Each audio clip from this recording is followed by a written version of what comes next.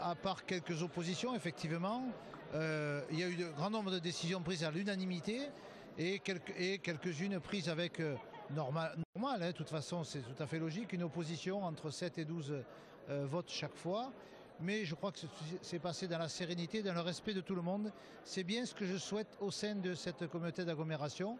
Le respect de nos différences, voilà, avec des propos qui ont tout le monde peut s'exprimer librement et on a décidé surtout d'un règlement intérieur qui va permettre de créer des groupes politiques, ce qui était le souhait du législateur, dans le respect de toutes les tendances présentes au sein de cette communauté d'agglomération.